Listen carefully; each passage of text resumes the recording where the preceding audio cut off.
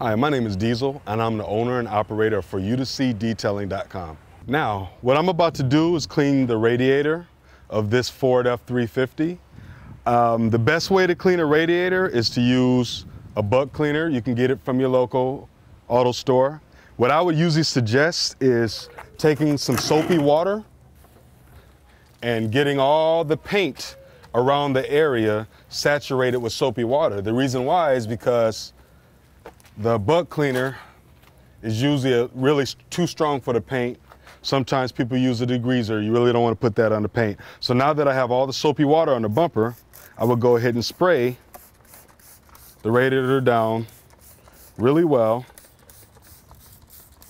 You really don't want to wipe the radiator. You really don't want to use a brush on the radiator because they have gills on them and you can actually ruin the gills. As you can see, there's some damage to this one already. That's going to happen, but you don't want to be the one to do it, especially if you're doing your car or, God forbid, someone else's car.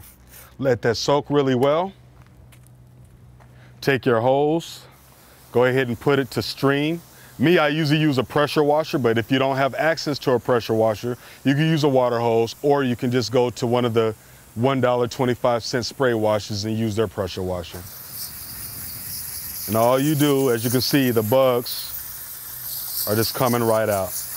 Now this one right here, he obviously doesn't want to go anywhere. So I'm just gonna kind of give him a little help. And as you can see, that's all it really needs. All the bugs are gone. You didn't ruin anything. Every now and then, spray the bumper off, spray any painted surfaces around the area, just so if it does leak on, if the cleaner does leak on the paint, it won't ruin it.